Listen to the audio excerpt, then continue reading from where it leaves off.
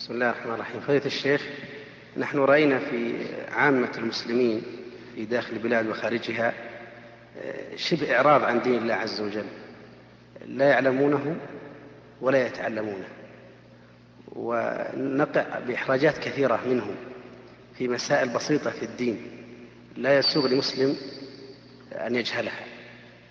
فيعني كيف نتعامل مع هؤلاء؟ وهل هم معذورين شرعا ومن عليه المسؤولية تجاه هؤلاء.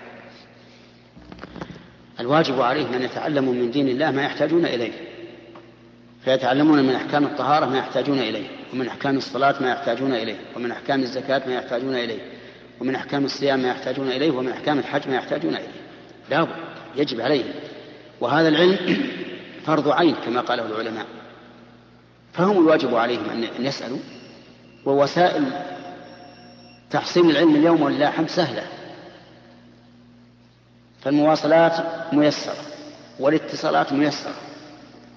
المواصلات بالسيارات المسافة التي يقطعها الناس بالأول بيومين يقطعونها في ساعتين.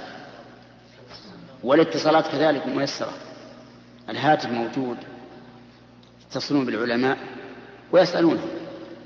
فهم في الحقيقة غير معذورين. ومع ذلك نقول إن على العلماء واجبا أن يطوفوا بالبلدان التي يكثر فيها الجهل حتى يعلموهم أمور دينهم. فإن الرسول عليه الصلاة والسلام كان يبعث الدعاة إلى البلاد ليعلموهم دينهم ويرشدوهم وأمر مالك بن حويرث وأصحابه أن يرجعوا إلى أهليهم ويعلموهم ويؤدبوهم.